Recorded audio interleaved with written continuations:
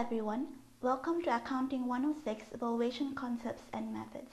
In this brief introduction, we will discuss the definition of valuation, the types of value, the importance of valuation, the standard approaches, and the limitations of valuation. Valuation is simply the process of estimating how much an asset or a firm is worth. The term value may take on several meanings. Liquidation value is the amount of money a company can realize by selling its assets and paying off its liabilities. Liquidation value is used when a company goes out of business or undergoes bankruptcy proceedings. Meanwhile, going concern value is the value of a company as a continuing operation.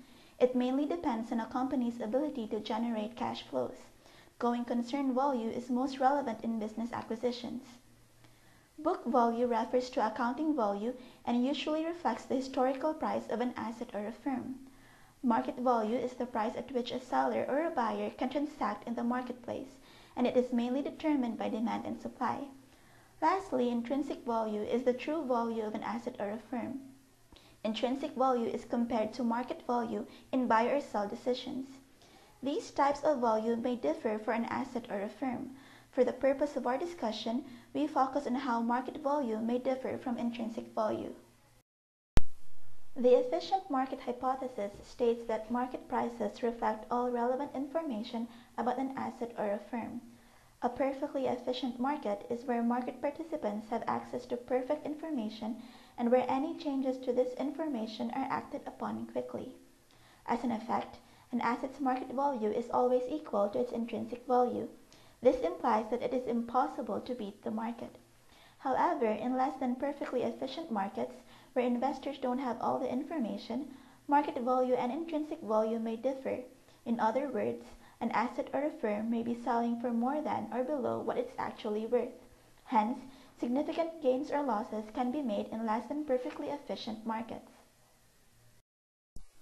The difference between intrinsic value and market value is depicted in this diagram. Intrinsic value is based on true expected returns and true risks.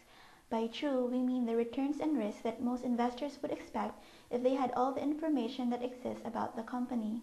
On the other hand, market value is based on perceived returns and risk. Perceived means what investors would expect given the limited information that they actually have. When an asset's intrinsic value and market value are equal, the asset is said to be in equilibrium. Financial managers, analysts, and investors use valuation concepts and approaches to carry out their responsibilities and achieve their goals. Financial managers need to understand valuation to estimate the amount they can raise from issuing bonds or shares, to determine whether financial assets are fairly valued by the market, and to consider the impact of decisions on the value of securities, particularly common stock. Management's goal should be to maximize the firm's intrinsic value, not its current market price. Note though that maximizing the intrinsic value will maximize the average price over the long run, but not necessarily the current price at each point in time. Analysts and investors perform valuation to decide whether to buy or sell securities. When an asset's intrinsic value is higher than its market value, it is considered undervalued. If it is the other way around, then it is considered overvalued. Investors buy undervalued assets and sell overvalued assets to realize gains. In the next video, we will be discussing the standard approaches to valuation, namely discounted cash flow approach and relative value approach, as well as the limitations of valuation.